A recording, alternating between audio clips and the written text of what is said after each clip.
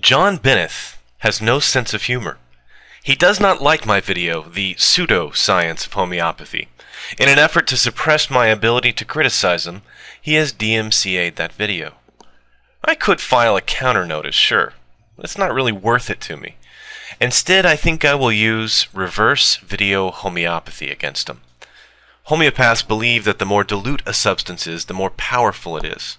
Right now, my video must be incredibly powerful, because it's not found anywhere on YouTube, just like the active ingredient in a homeopathic solution isn't found anywhere in the bottle or pill. Mine is a 12C dilution video. Let's change that. I've posted a link below to download the original video. Since I clearly can't post it here on my channel, I hereby make it available to anyone who is interested in mirroring it or sharing it with friends. Be aware that John Benneth believes that this content is copyrighted. A little bit about John Benneth. He goes by the YouTube username Bandershot. On LiveLeak, he goes by Jack Hammer. He's a homeopath and runs a homeopathic blog. He's also a homophobe. He hates James Randi, who he claims refused to pay him after he demonstrated homeopathy.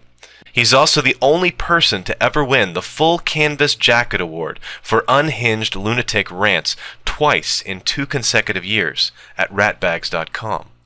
He is, in short, a nutbag.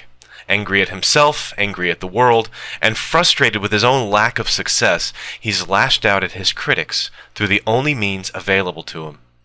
It shows the bankrupt nature of his arguments that he can't tolerate our laughter. He must shut it out by any means necessary. What a sad, sad little man. Thanks for watching.